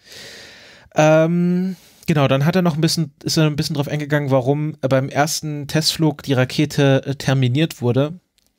Ähm, das war einfach, das, ein, äh, das war ein ganz doofer Fehler. Also, ähm, das war gar kein Fehler von Rocket Labs selber, sondern die haben so einen ähm, Subcontractor für dies äh, Ra- Range Safety ähm, eingestellt und die haben ihre Software irgendwie falsch, falsch äh, konfiguriert und dann ist auf einmal bei denen äh, die Rakete verschwunden Irgendwo Fehlerkorrektur oder sowas war das. ja, genau, dann ist, dann ist bei denen die Rakete auf dem System verschwunden und dann musste halt der, der Range Safety Mensch hatte keine Wahl, um, um die Rakete zu terminieren, aber es war zum Glück nur eine Die Thrust. haben halt, äh, ja? die haben halt keine, keine äh, Daten mehr gekriegt von der Rakete. Ja, ja, und genau. mussten deswegen davon ausgehen, ja, die ist jetzt irgendwie außer Kontrolle geraten, weil konnten sie ja nicht mehr kontrollieren, während gleichzeitig die Leute von, von äh, äh, nicht Moon Express, mein, äh, von Rocket Labs halt noch ganz normal ihre Daten bekamen Ja. äh, und dann halt relativ hilflos zusehen mussten, äh, wie dann äh, ja der Flug abgebrochen wurde. Ja. Ähm, mh, und das war aber zum Glück nur eine Thrust Termination und keine äh, Pyro-Termination. Also es gibt ja entweder man sprengt die Rakete oder man schaltet einfach die Triebwerke aus. Und es war das, äh, das Letztere. Also man hat einfach die Triebwerke ausgeschaltet, die Rakete ist dann einfach natürlich weitergeflogen und man konnte dann noch äh, alle Tests, die man machen wollte, noch durchführen, aber die Rakete ist dann nicht in Orbit gekommen. Ähm, die haben dann auch so nachgefragt, äh, das Interview war von Spaceflight Now und die haben das gefragt, ja, wer war denn der Subcontractor? Und er meinte dann so, ja, jeder hat mal einen schlechten Tag und ich, ich werde die jetzt hier nicht äh, öffentlich nennen, äh, einfach aus, aus, äh, aus Diskretionsgründen. Ja. Ähm, Naja. Ja, also ich. ja. Ja, also äh, als ich als ich damals den ähm, den Flug gesehen hatte, äh, hatte ich ja auch gleich gesehen, irgendwie so richtig so richtig kontrolliert geflogen ist sie nicht am Anfang. Ähm, und äh, ja, das hat sich mehr oder weniger geklärt, äh, nämlich äh, das es hat halt ein gewisses Rollen gegeben, aber man wollte es nicht, äh, man wollte das Rollen nicht ähm, nicht vollständig ausgleichen um die Rakete nicht überzustrapazieren, sagen sie zumindest. Ähm, was feststeht, ist, wenn du so eine Rakete hast mit ziemlich vielen äh, Triebwerken, genauso wie Falcon 9 halt auch, äh, hat halt auch neun Triebwerke, ähm, dann kann halt so ein Rollmoment entstehen. Äh, hast du ja selber durchgelesen. Kannst du mal sagen, was der, wie du es verstanden Ja, hast? genau. Also das, das Rollmanöver, das war, äh, also es war tatsächlich absichtlich, ähm, weil sie da, also äh, Guidance hat, also die Leute für für die Navigation haben gesagt, wir wollen jetzt hier die äh, die äh, die Kontrolltriebwerke jetzt hier nicht zu überstrapazieren und die Rollachse, also äh, die Bewegungsebene, äh, äh, das ist die am wenigsten gedämpfte. Also die die kann gern ein bisschen drehen, das das tut der Rakete nicht nicht nicht weh. Was? Du, Hm. du seufzt. Ich finde, ich finde irgendwie die, ich, ich finde die Erklärung irgendwie, also auch diese, die, die sie halt im Interview geliefert haben, etwas merkwürdig, weil äh, es hätte nicht viel gebraucht und es hätte auch keine großen Strapazen gebraucht, um so ein Rollen auszugleichen, weil sehr schnell war es ja nicht. Ähm, Ja, Ah, das, das, das, also die haben gesagt, die haben das kontrolliert und sie haben das halt nur bis zum bestimmten Punkt rollen lassen. Also was da gerollt ist, das Ja. war schon gedämpft. Also man weiß ja nie, Ja. was, was jetzt ohne, ohne Dämpfung überhaupt, wie, wie schnell sie dann geworden wäre. ja. Okay, man weiß auch nicht, äh, wie, genau da, wie genau die Triebwerke funktionieren. Nicht, dass die äh, wieder irgend so eine Hydraulikflüssigkeit drin haben, die dann irgendwann ausgeht. Ja, genau, das. was wir ja schon äh, bei diversen Raketenstarts gesehen haben. Ähm, vielleicht hat es was damit zu tun, dass man da wirklich sagen wollte, okay, so wenig wie es geht. Kann sein. Es, es sah trotzdem irgendwie alles, der, der Anfang vom Flug sah nicht sehr kontrolliert aus. Ja, ich glaube, also ich glaube, er meinte es auch nicht so, dass, dass das irgendwie gewollt war, sondern dass man das einfach bis zum gewissen Grad passieren ließ, äh, ohne da einzugreifen. Ja. Ähm, Ja. Und er hat auch gesagt, das kam dadurch, dass es äh, Plume-Plume-Reactions gab, also dass die, ähm, dass die äh, Gase aus der Rakete irgendwann irgendwie miteinander äh, reagiert haben oder quasi so gefühlt zusammengestoßen sind und dadurch irgendwie so ein Drall entstanden ist. Und er meinte auch, wenn man die ersten Falcon 9 Starts kannst halt, kannst halt nicht, kannst halt nicht völlig kontrollieren. Also du kannst das auch nicht ausrechnen, was genau da passiert. Ja, genau. Weil einfach äh, turbulente Strömungen kannst du nicht, kannst du nicht so genau berechnen, dass dann sagst, äh, ja, und das ergibt jetzt genau diese Kraft in diese Richtung, äh, weil du noch nicht mal die Turbulenzen ausrechnen kannst, weil Turbulenzen sind böse. Äh, er meinte auch, ähm, dass wenn man sich die ersten Falcon 9 Starts anschaut, dass da ein ähnliches Rollverhalten stattfindet. Ja, den ersten, den ersten, nicht die ersten, den ersten, der Ah, allererste. er meinte, meinte the first. Ja gut, das, ja, das könnte beides ja, heißen. der erste, der allererste. ja, ja, also da, da gab es auch ein ähnliches Rollverhalten. Da hat sie, ja, aber die haben es halt so gehabt, okay, äh, irgendwie hat eine Vierteldrehung oder eine halbe Drehung gemacht und das wurde dann sofort stabilisiert und dann ist sie direkt hoch. Ja, ja, gut. Ähm, er meinte auch, dass es wahrscheinlich einen Webcast beim nächsten Start geben wird, äh, aber er war sich noch nicht sicher. Ja, das ist so ein bisschen dieses wird fett offline. Ja, Neuseeland, äh, da muss man vielleicht so einen Hobbit losschicken, der dann mit der Kamera. Ja, irgend sowas. Äh, Netzabdeckung ist nicht sonderlich toll. Äh, klar, äh, am liebsten wollten sie die Rakete natürlich an der Stelle starten lassen, wo nicht allzu viele Menschen ringsrum sind, äh, damit man niemanden gefährdet, falls es irgendwie nicht funktioniert. Ich muss gerade an Herr der Ringe, die zwei LTE-Türme denken.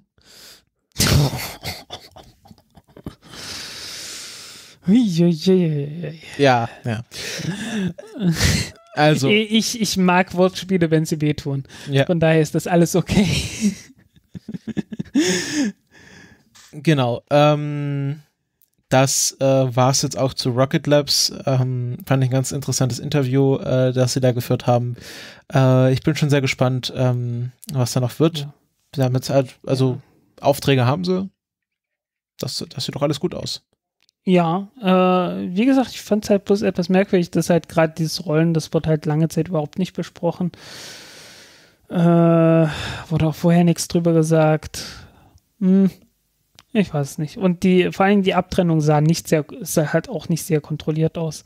Also ich glaube, die, die werden Gründe haben, warum sie äh, seit Mai nicht mehr eine zweite Rakete gestartet haben. Und äh, das werden mehr als nur Kleinigkeiten sein, die, äh, dort, die dort noch korrigiert werden müssen. Aber Also er hat das so behauptet. Gutes. Also er hat meinte, Ja. sie machen keine großen Änderungen an Subsystemen, sondern nur noch Kleinigkeiten. Ja, es können ja viele Kleinigkeiten sein und Kleinigkeiten können manchmal auch zeitaufwendig, zeitraubend und äh, äh, einfach, einfach schwierig sein, auch wenn es wenig ist. Ja. Kleinvieh macht halt auch Mist, ne? Ja, genau, dachte ich auch gerade. Aber gut, äh, das war's zu Rocket Labs. Wir kommen jetzt noch zu Arkinaut. Äh, ganz kurz, ähm, fand ich ein interessantes Projekt. Ähm, ist ein äh, NASA-finanziertes äh, äh, Unternehmen, äh, das äh, im, im Technology Demonstration Missions Program quasi untergebracht ist bei der NASA. Und da geht es um 3D-Druck im Weltall. Ähm, was ich ja sehr spannend finde und denke, das ist auch das, was, was irgendwie so der nächste große Schritt sein wird. Ähm, nämlich, dass man einen, einen Satelliten hochschickt mit Roboterarm und einem 3D-Drucker, der sich dann ähm, äh, Gestelle selber druckt und zusammensteckt. Äh, und das wurde jetzt äh, unter Weltraumbedingungen, also in der Vakuumkammer, äh, das erste Mal getestet. Und ähm, deswegen gab es dann den Artikel. Also der Test an sich ist jetzt nicht so spektakulär, aber ich, ähm, ich wollte das einfach mal erwähnen, dass man das auf dem Schirm hat, ähm, weil die, weil das ganz interessant aussieht. Und ich denke, das ist was, was realisierbar ist. Also nicht so, nicht so was wie Weltraummining, was dann irgendwie noch tausend Jahre in der Zukunft liegt, sondern was jetzt irgendwo in den nächsten 10, 20 Jahren ins Haus stehen wird. Ah ja, und dann hieß es, es hieß hier irgendwie Space-like Environment. Also man hat das sich mit Sicherheit irgendwie in der Vakuumkammer im, auf dem Boden gemacht, ne? Ja, meinte ich ja gerade. Also haben sie in der Vakuumkammer getestet. Jo, hm. Genau. Ähm, und die haben auch sehr schöne Render-Videos, also wie das dann mal aussehen wird. Und äh, also so erste Projekte könnten zum Beispiel sein, dass man sich halt so eine große Satellitenschüssel selber druckt, äh, so dass die halt größer ist, als sie in eine Rakete reinpassen würde. Naja, also größer als sie in eine Rakete reinpassen würde. Also man, man hat jetzt schon richtig große Antennen. Ja, aber immer noch, es geht immer noch größer. Ja. Ähm, aber so spektakulär groß sehen die, was die hier zeigen, auch nicht aus. Also da, da gibt's, äh, da gibt's Ähnliches in der Größe schon. Aber äh, ja, doch, ich, ich kann es mir vorstellen. Also diese ganzen, äh, diese ganzen Strukturteile und Verbindungen äh, sind ja im Wesentlichen dafür ausgelegt, dass sie den Start überleben äh, und äh, werden im Weltall ja eigentlich gar nicht weiter belastet. Ja. Und äh, von daher kann man sich das durchaus vorstellen, dass man dann äh, sehr fragile Strukturen im Weltraum einfach drucken kann, indem man einen sehr solide gebauten 3D-Drucker äh, den, den äh, Start mit der Rakete überleben lässt. Genau. Also es gibt auch einfachere äh, Ideen, dass man halt ähm, einfach so einzelne Em- Elemente sehr eng packt und dass man dann halt äh, Roboterarme an diesen Satelliten dran baut, äh, die dann einfach so ausgesteckt werden. Also dass, dass man auch Lego im Weltall. Genau, also es ist, geht dann nicht nur um 3D-Druck, sondern auch das, äh, also das äh, robotische Zusammenbauen von Strukturen. Hm. Ähm, also das sind so die zwei Elemente von Arkinaut, ähm, dass man einfach äh, das für den Start eng packen kann und dann im Weltraum auf, aufbauen. Also da sind wir, da sind wir tatsächlich dann bei Lego im Weltall. Jo. Ja, klingt interessant. Äh, genau, 2018 soll dann, ähm, was soll denn 2018 passieren? Da war doch was. Äh, irgendwas, ich glaube noch kein Start, sondern genau, Test, äh, ja, also nochmal andere Tests in Full Scale äh, und dann halt in Spaceflight Demonstration. Aber sie wissen noch ganz genau nicht, was sie jetzt damit machen wollen. Ähm, ist halt sehr vielfältig. Also da, ob man da irgendwelche großen Truss-Strukturen aufbaut, wo man dann irgendwas anderes dranhängt oder da, dass, dass dann andere Satelliten dort andocken und sich irgendwelche Strukturen reparieren lassen. Also, dass man da, keine Ahnung, äh, irgendwelche, irgendwelche Elemente austauscht, die dann irgendwie kaputt gegangen sind. Ähm, ist auch natürlich auf die Frage, ob man den nachtanken kann. Also, ob man da dann einmal diesen 3D-Drucker startet und der dann halt immer mit, mit äh, Druckfilamenten betankt wird, sozusagen. Oder ob man Hm. dann immer was Neues baut. Jo. Äh, wird jedenfalls interessant. Aber wirklich interessant wird es eigentlich erst, wenn das Ding mal startet Ja, genau, aber und im Weltraum getestet wird. genau, aber ich wollte das schon mal, dass, dass das unsere HörerInnen auf, auf dem Schirm haben. Jo. Jetzt hast du noch was zu SpaceX, das haben wir jetzt extra ans Ende getan, damit es nicht wieder am Anfang steht. ja, äh, ist auch nicht viel. Ähm, äh, die Falcon 9 Rakete ist gestartet, mal wieder zum 30. Mal, zum 11. Mal dieses Jahr. Und äh, ich habe es jetzt nicht im Kopf. Was die 40. Ich müsste jetzt nachgucken. 40. was? Ähm, oder 41. Start einer, einer Falcon 9 Rakete. ich schaue es gleich nach, warte. Es ist der 40. gewesen. Ah, okay. Und ja, an Bord war Formosat 5 und äh, Formosat 5 sollte ursprünglich mal zusammen mit äh, dem Sherpa Satellite Dispenser starten und dann noch über 80 Satelliten zusätzlich aus, äh, aussetzen.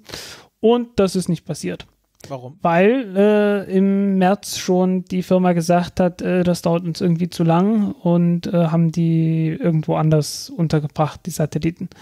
Äh, Ich habe keine Ahnung wo, ich habe da auch nichts rausgefunden wo. Äh, ich bin mir relativ sicher, einige werden davon immer noch am Boden sein. ähm, ja. Äh, damit äh, ist auf jeden Fall das der Flug gewesen mit der kleinsten Nutzlast, die die Falcon 9 jemals transportiert hat und wohl auch jemals transportieren wird, nämlich 475 Kilogramm. Nicht mal, nicht mal eine halbe Tonne, obwohl sie eigentlich äh, ja so locker 15 Tonnen oder so, äh, also 10 Tonnen auf jeden Fall hätte starten können in den gleichen Orbit. Ähm, ja, warum das Ganze? Weil man den Vertrag schon vor einer halben Ewigkeit unterzeichnet hatte. Und damals hieß es noch, äh, wir starten das Ding nicht mit einer Falcon 9 Rakete, sondern mit einer Falcon 1E Rakete. Und ja, Falcon 1 Raketen, äh, die wurden schon vor sehr, sehr langer Zeit abgeschafft, weil man gesagt hat, dass wir, wir finden nicht genügend Kunden, um das wirtschaftlich zu betreiben. Und äh, folglich äh, gab es die nie. Nie mehr. Also es gab fünf Starts mit einer Falcon 1 Rakete. Ähm, hat einen Satelliten für Malaysia ausgesetzt und äh, einen zweiten Satelliten, äh, der halt abgestürzt ist beim dritten Start. Und äh, ja, mehr halt nicht. Ja, aber der Vertrag war geschlossen, der musste irgendwie erfüllt werden und äh, das ist hiermit geschehen. Okay. Und der Booster ist ja auch erfolgreich gelandet. Äh, tatsächlich Ist er? fast auf fast mittig. Ist der 15. gelandete Booster von, äh, Falcon, äh, von der Falcon 9 gewesen. Mhm. Immerhin. Ja. Also äh, noch 120 und es sind so viel wie Space Shuttles. Nee, stimmt, äh, 118. Und dann sind es so viele Landungen, wie das Space Shuttle geschafft hat. Ja, das sollte ja bald zu schaffen sein. Äh, Weil Space Shuttle hatte ja bekanntlich 135 Starts und 133 Landungen. Mhm. Ähm, äh, ich sehe gerade, das war aber noch eine Block 3 Rakete und äh, die, der, die, Ja. der Dragon, Dragon Start war schon eine Block 4. Ja, Und es kommt noch Block 5, oder? Demnächst. Block 5 kommt äh, mit den bemannten Flügen. Ah, okay. Ja. Ja, gut, das ist ja hoffentlich demnächst. Für Februar 2018 angekündigt. Ja, demnächst, sage ich doch. Jo. Ähm, ähm, ja, das, das war's zu, zu SpaceX, diesmal ganz kurz. Ja, ich wollte es auch nur sehr kurz machen. Äh, es hat zwischendurch noch eine, eine Minotaur-Rakete einen Satelliten ausges ausgesetzt. Äh, das soll der äh, die größte Bahnneigungsänderung für einen Satelliten im niedrigen Orbit gewesen sein. Irgendeinen Rekord muss man ja aufstellen. Also heißt, war ein sehr, sehr leichter Satellit und äh, hat noch genügend Reserven, um halt die, die Bahn irgendwie auf irgendwas anderes, äh, auf eine andere Neigung zu bringen. Okay. Wahrscheinlich sollte die in äquatorialen Orbit reinkommen. Ich habe keine Ahnung. War das nicht so eine Militärgeschichte? Ja, äh, sowieso. Also diese Minotaur-Raketen sind ja für, äh, sind ja eigentlich nicht für kommerzielle Flüge gedacht. Glaub ich. Es gibt ja jetzt diesen Streit, äh, weil die Amerikaner haben ja die Peacekeeper-Raketen abgeschafft. Und die stehen halt jetzt so rum und äh, es gibt halt ständig Streit, äh, was machen wir jetzt mit diesen Raketen? Äh, verkaufen wir die noch für Starts von Satelliten oder nicht? Und wenn ja, für wie viel Geld? Und äh, alle Leute, die die potenziell kriegen können, sagen natürlich, na, für möglichst wenig Geld, weil es ja gebraucht und äh, entstehen ja keine weiteren Kosten für. Und alle anderen. Raketen never used. ja, ja. Never used for peacekeeping. Genau. Äh, und äh, alle anderen, äh, die halt diese Dinger nicht benutzen können, sagen halt, ja, möglichst viel soll das kosten. Was ja auch verständlich ist. Ah ja. Ja, die Frage ist ja, Peacekeeper-Raketen, keep, also halten die den Frieden dadurch, dass sie da sind oder dadurch, dass sie fliegen? Ich würde ja sagen, die halten den Frieden Jetzt dadurch. du, dadurch, dass sie da sind, Ja. hieß es, glaube ich. Also dann sind sie ja schon benutzt, in, in dem Sinne, dass sie. In dem Sinne sind sie benutzt, ja. Oh, Ähm, das ist ein aber sehr ja philosophischer Streit. Aber gibt's ja auch nicht mehr. Ja, jetzt muss man keinen Frieden Jetzt mehr gibt's, halten. jetzt gibt's kein gibt's nur noch. Vorbei mit Frieden. Ja, jetzt, jetzt gibt's nur noch Minuteman-Raketen. Ja, und das ist ja, ähm, die sind ja dann tatsächlich. Innerhalb von einer Minute startklar, ne? ja, so Also, äh, na, ursprünglich war ja Minuteman, äh, die Minutemen waren ja so die, die die amerikanischen kommen, die Milizen, Briten wo gesagt, kommen. Ja. ja, irgend sowas, wo dann halt gesagt wurde, ja, also, äh, das sind Leute, die müssen halt ihr Gewehr irgendwie an der, an der Wand festgenagelt haben. Nicht festgenagelt, aber so, so am Griff bereit haben, damit sie innerhalb von einer Minute aus der Hütte kommen können und, und äh, gefechtsbereit sind, ne? ja, Paul Revere. Der Ritt von Paul Revere. Genau, genau, der Typ. Hey, da war was. Ja, mit Schnupfen und irgendwie krank und äh, nach, äh, wo ist er hingeritten? Ähm, Lexington, genau. Nach, von Boston nach Lexington und Concord. Hm. Ja, äh, waren ja eher alles kleine Kriege damals. Ja, Zumindest in der Ecke, weil äh, einfach nicht viele Leute da. ja, ja. ja. Ähm, wollen wir noch eine Raketenvorhersage machen? Machen wir noch. Mach ähm, mal, gell? Nee, gehört dazu. Äh, ja, ja. Ähm, ich muss sagen schon, äh, bis zum nächsten, das wäre dann der 9. Okay. Ähm, da haben wir einmal am 31. August, dem Donnerstag, eine PSLV, eine indische Rakete mit dem IR IRNSS-1H. Das ist ein Navigationssatellit für äh, regionale indische Navigationssystem. Genau. Will, wird in der PSLV XL-Konfiguration fliegen. Ja, äh, kommt dann in irgendeinen komischen Orbit, entweder geostationär oder so, so leicht abweichend, ab, leicht abweichend davon äh, in so einen komischen Achterorbit. Ähm, Ja. Eins von beiden. Äh, diese Navigationssatelliten haben ja die gleichen Schweizer Atomuhren, die auch die chinesischen und die europäischen äh, Navigationssatelliten haben und die haben die gleichen Probleme. Ähm, die IRN IRNS-Konstellation ist in einem geostationären Orbit. Ja, aber die haben, die haben zwei, zwei Sorten von Orbits. Also äh, einmal halt geostationär, die halt wirklich an einer Stelle bleiben. Aber mh, dann hast du Satelliten nur entlang vom Äquator, also nur entlang von einer Linie. Ah, okay, Wenn du ah, hier steht. navigieren willst, musst du aber Triangulation betreiben. Das, dafür brauchst du Dreiecke und dann reicht so eine Linie nicht aus. Halt- das heißt, du brauchst noch irgendwie Satelliten, die rechts und links von dieser Linie ausscheren. Und da benutzt man äh, geosynchrone Orbits, die äh, halt äh, äh, ja, die halt in so einer in so einer Acht um einen äh, bestimmten Punkt am Himmel kreisen und ja, dadurch kriegst du halt ein bisschen mehr, äh, ein bisschen mehr Abstand und kannst dadurch halt äh, Triangulation betreiben. Gut, äh, der nächste Start ist dann am 5. September. Das ist ein äh, Sonntag, nee, ein Samstag.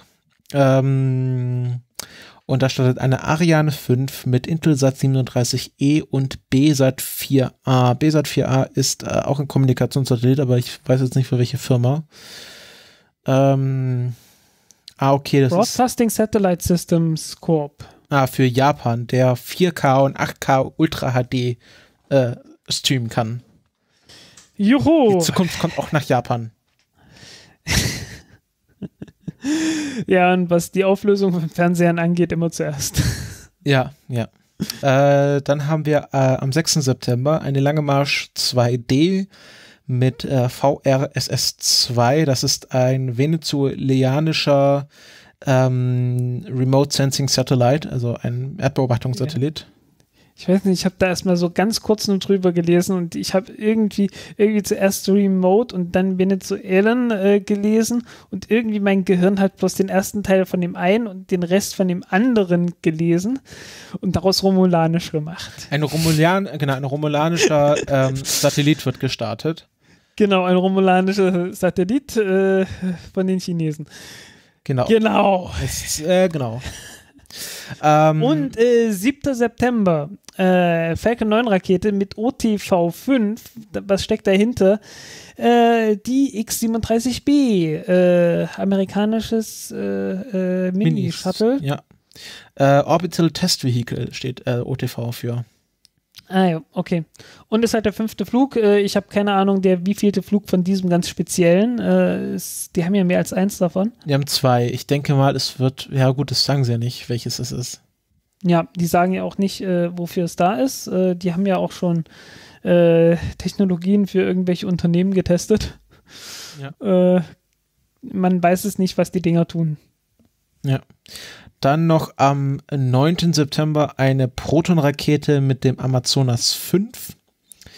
Äh, das ist ein Breitband-Television, Corporate Network und Telekommunikationssatellit für Mexiko, Zentralamerika und Südamerika.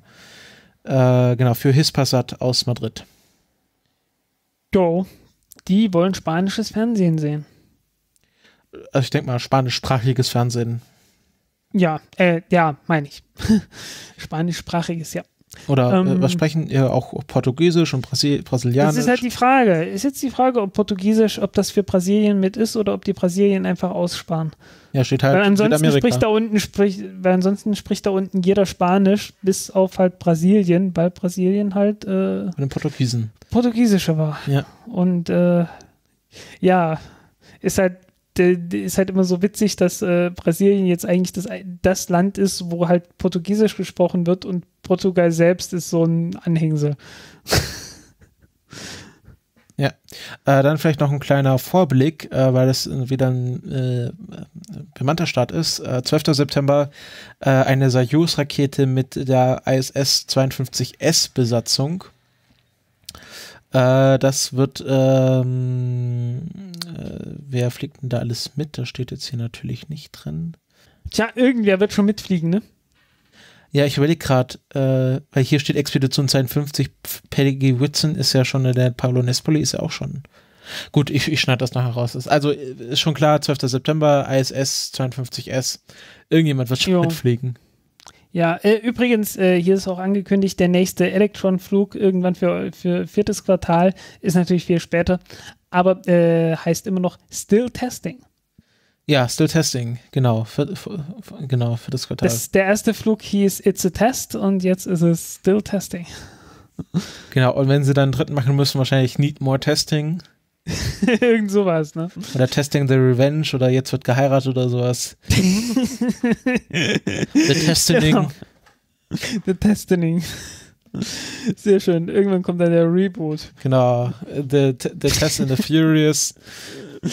Ah. Gut, ja, ähm, auf jeden Fall, die, die Benamung wird doch äh, langsam interessanter. Ja. Da muss man, da muss man äh, SpaceX sicherlich einen Dank aussprechen mit den, äh, mit der Benamung der, der Landeschiffe und so. Gut, ähm, Okay, ähm, damit beenden wir diese Folge. würde ich sagen. Dann äh, bedanken wir uns fürs Zuhören. Wenn ihr Feedback habt, äh, gerne in die Kommentare oder auf Twitter. Äh, und sonst äh, unterstützt uns auf Pat Patreon oder PayPal mit äh, Geld. Und äh, wir sagen äh, bis in zwei Wochen. Bis in zwei Wochen. Tschüss.